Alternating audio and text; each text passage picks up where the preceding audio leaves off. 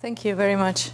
Um, so I am a postdoctoral researcher at the University of Groningen. Uh, this paper is part of a larger project on structural change and productivity growth funded by DFID. And basically, this would be the outline of the presentation. I will run very quickly through the motivation to do this paper, then some theoretical predictions, although I'm not going to test these predictions. These are just to frame some of the results. I'm going to describe the data and methods I use, then uh, show you some results, and then finally get to the discussion and conclusions. So the motivation I had for this paper was that I've seen a lot of uh, increasing interest in special economic zones or export processing zones, industrial clusters in sub-Saharan African countries, uh, especially promoted by the World Bank uh, through their country reports. Um, however, when I went back to the literature and searched for uh, papers analyzing the actual distribution of employment over space in Africa, I couldn't find much. There is basically some evidence uh, spread around country reports, but nothing really systematic that tells us how employment is actually distributed within countries in sub-Saharan Africa. So the aim of this paper is very simple, but maybe can contribute to filling this gap, is to analyze the spatial distribution of wage and non-wage employment in a set of sub-Saharan African countries before and after the reforms. Uh, why non-wage and wage uh, employment? This is because non-wage employment has become increasingly more important and I have reasons, theoretical reasons to believe that the patterns of distribution of wage and non-wage employment are different. So I want to also contribute by analyzing these two types of employment separately. And then I'm going to try to contrast some of these stylized facts with the predictions that I have from particularly new economic geography models, to then inform policy about the feasibility uh, of this industrial cluster idea for sub-Saharan African countries. So now for the theoretical predictions, uh, I am going to be talking mostly about new economic geography models because this is the framework that is used in uh, papers uh, analyzing uh, the possibility of industrial clusters, uh, particularly the 2009 uh, World Development Report, Reshaping Economic Geography, is heavily based on new economic geography predictions. So as you may know, uh, in a nutshell, new economic, new economic geography predicts that large, large firms producing under increasing returns to scale will agglomerate to locate near consumers and from these larger agglomerations, they will source smaller markets at some transportation cost T. That's a, a very basic uh, outline of the theory, but it's enough for the purpose of uh, the argument that I'm making here. And if you look at sub-Saharan African countries, you have very high transportation costs within uh, countries and a very small scale of production, as evidenced by uh, very large share of non-wage employment or family business or small-scale uh, units, uh, particularly informal units.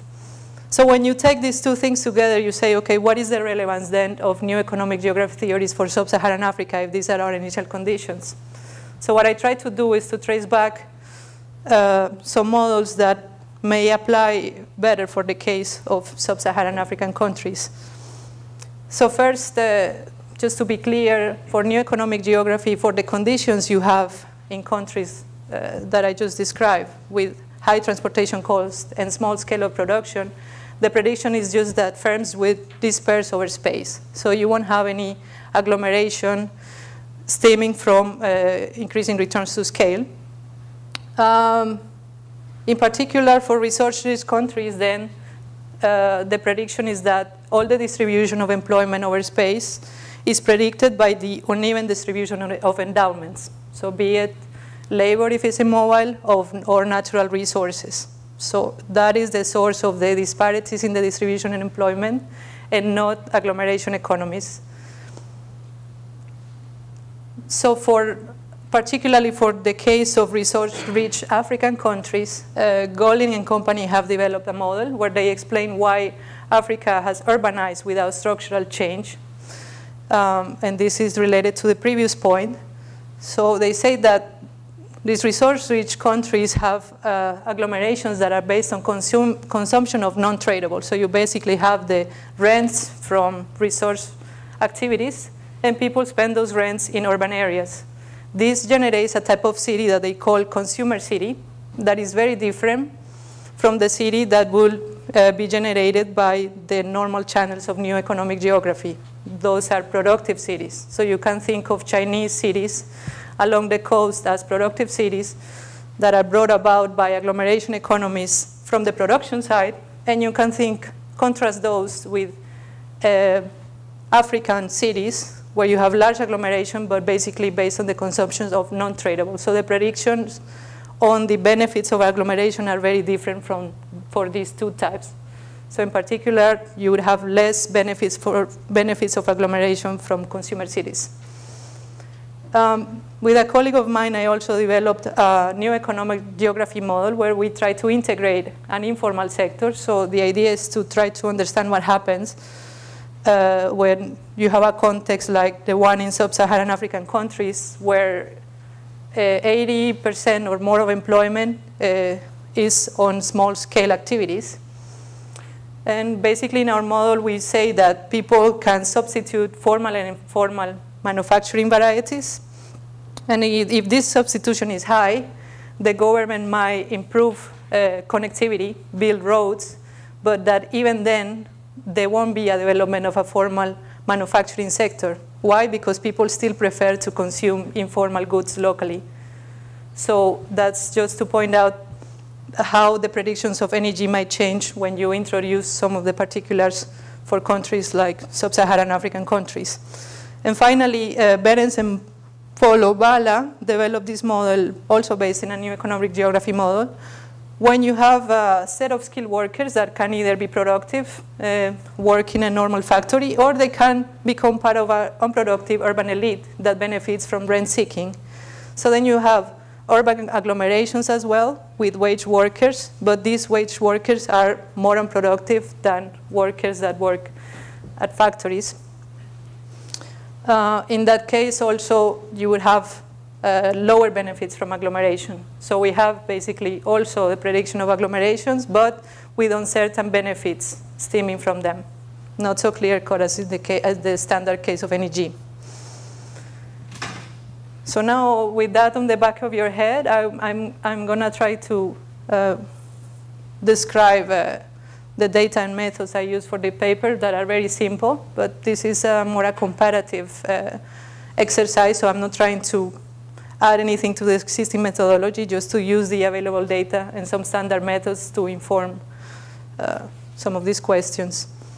So I, I use the population census samples that are provided by IPUMS uh, for these countries, so Tanzania, 1988, 2002, Guinea, uh, 1983, 1996, Senegal, 88, 2002, Malawi, 87 and 98, and Mali, 87 and 98.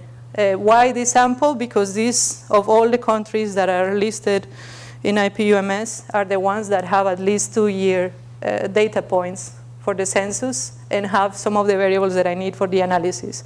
So I basically chose all of the ones that were available. Um, I had some, I had to do some adjustments to this data to make it comparable. So uh, I used a, a unit of analysis is basically the second level of disaggregation, be it the province, department, or region. I'm not claiming that these, absolutely these areas are comparable because you can think of uh, regions in Malawi that are 10 times larger than some regions in Tanzania. Uh, but they are uh, relatively comparable. So within the country, the, the division is, is fairly the same across. And for uh, changing boundaries, I basically use the oldest boundaries. So I match, whenever there is a changing boundary, I match the, uh, the latest data points to the previous one. So, so I have a, a uniform set.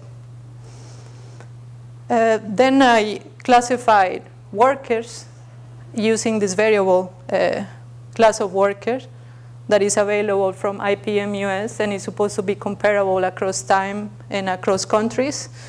And I classify them as wage if this variable takes the value of work at someone else, works for someone else as wage salary worker, and non-wage worker if they are self-employed with or without employees, or they, if they are unpaid workers such as family workers or apprentices. The underlying assumption for this is that basically non-wage employment corresponds to small-scale activities uh, that fall mostly into the production of non-tradable goods and services. So this would be the opposite case of what new economic geography considers to be increasing returns to scale.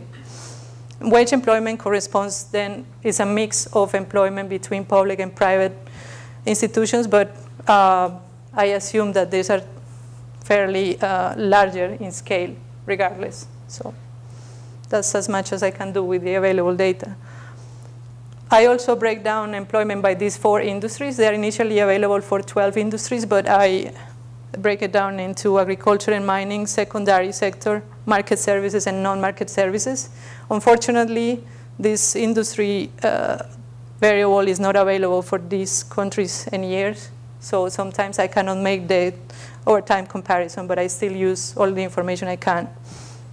These are some general characteristics of the studied countries. So uh, basically, I have a mix here of uh, coastal, non-coastal, resource-rich, resource-poor, but not large enough to draw any conclusions for these uh, larger categories. So just as a reference, uh, by far the largest is obviously Tanzania. So, and then you have the others are fairly similar in size. And, well, you can see there some of the other characteristics. So that's just for your reference. So basically, to measure the concentration of employment, I use two types of measures. The uh, uh, aspatial measures of concentration and spatial measures of concentration. So I combine these two to give a bigger picture, a more complete picture of what is happening with the distribution of employment in sub-Saharan African countries. So first, the coefficient of variation is very, a very simple measure. It's just the uh, standard deviation over the mean. So for the two types of employment, if this measure is zero, that means that there is a uniform distribution. If it increases over time, it means that employment is becoming more concentrated. Uh, why is this indicator spatial? Because it doesn't take into account the proximity or uh, of the um, of the units. So basically, every unit is taken independently, and not the fact that they might be proximate.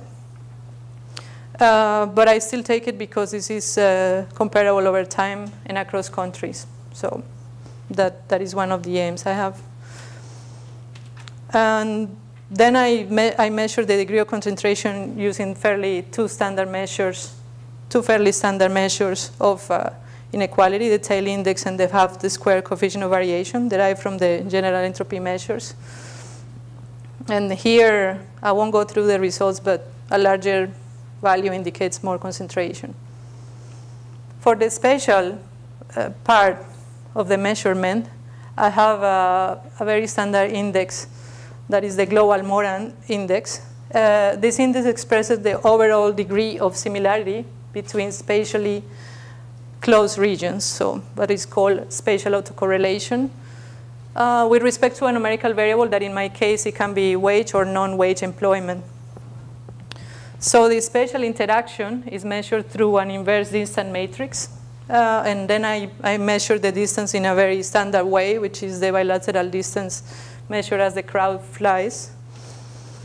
Uh, and this global Moran can take basically a positive value, in which case it is indicating that proximate regions exhibit similar values. So that's, uh, that would be indicating uh, clustering. Um, if it's negative, it uh, indicates that proximate regions exhibit dissimilar values of employment. And if it is statistically significant, it means that the distribution of employment does not follow any particular pattern over space. So the distribution can be taken as to be as random. And uh, an extension of this global Moran is the local indicator of spatial association, which is go basically going to tell us where this clustering happens. So it identifies where clusters happen, the center of the cluster. Uh, a cluster would be then a region that has high employment and is surrounded by regions that also have high employment. You can also have also something called cold spot, which is a region with low employment surrounded by regions of low employment. So now for the interesting part of the presentation, the results. Um, first, I'm going to go through the coefficient of variation. Uh, up there, you can see the coefficient of variation on the same scale uh, for the five countries here. So you can compare the absolute values across. And on this axis, I have the share of wage employment in total employment. So the first thing you notice is that for most of these countries, the share of wage employment decreased sharply, but this is a stylized fact that is already well known in the literature, except for Senegal, when you see it stay, staying at a level of around 15%. So very sharp decrease in countries like Guinea. Mali never really had much of wage employment anyway. But you see that even though this share is decreasing, employment is becoming more concentrated. So you see it here, the change over time wage employment becoming less representative and more concentrated. This is the finding that I have. Then non-wage employment, as you can compare here, the red with the blue, non-wage employment is far less concentrated than wage employment. So that's one of the main results here, that the two types of employment have very different patterns of concentration. And you see it clearly there. For the case of Guinea, it's very extreme, uh, the difference in concentration levels of these two types of employment. And you see that there is not really much of a change over time. So this, we're talking about 10 years difference at least.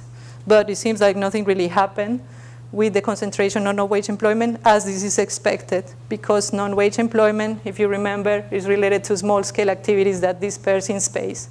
So there is no reason why this type of employment would become concentrated. So this makes a lot of sense uh, in that sense. Uh, so you have different cases, like in Tanzania, it actually became more dispersed over time. You have some other countries where it remained fairly stable. And in Senegal and Guinea, it increased, but it was initially at very low levels. So uh, for the industries, I'm not going to show the table with the results, but I'm going to just run through the main results. So uh, these indexes of LG1 and G2 are very close to their lower bound. Uh, meaning that absolutely industries in Africa have very low levels of concentration to start with. The highest level of concentration comparatively between the four sectors that I have is on market services, as is expected. So for instance, retail services, uh, retail trade, sorry. And they are lowest in agricultural and mining. This is also to be expected because of the nature of, the, of agricultural activities. And this remained true before and after structural reform. So another uh, finding is that basically not much happened between before and after reforms with the spatial distribution of employment in the countries that I analyzed. Uh, non-wage employment is absolutely less concentrated than wage employment um, in these three sectors, so in all sectors except non-market. And for the two countries where I can analyze patterns over time, I find that basically there is not much of a change because of two reasons. Why? Because there is no movement of employment towards sectors that display larger concentration, so not much change, for instance, from agriculture to market services in that time period. And there is an increasing share of dispersed non-wage employment. So those are the sources of the lack of change. Now for the spatial part, here the ones that are shaded are not significant at the 95% level, and here then I wouldn't take them into account because uh, already I have a very small number of observations, so it's fair, fair to say that these values are not to be interpreted. But for the ones that I uh, can interpret, then I see that uh, there is no spatial autocorrelation in wage employments for all countries except for Senegal, which is also, you can see here, uh, this is wage. Uh, levels of spatial autocorrelation are positive, meaning that there is some global pattern of autocorrelation, but it's not very strong. And it's only significant for the country that, if you remember, had some significant share of wage employment in, the bo in both periods. So it's not surprising that I don't find anything for wage for the other countries because it represented such a small share of employment anyway. And then you observe here that the patterns for uh, non-wage employment are also relatively small.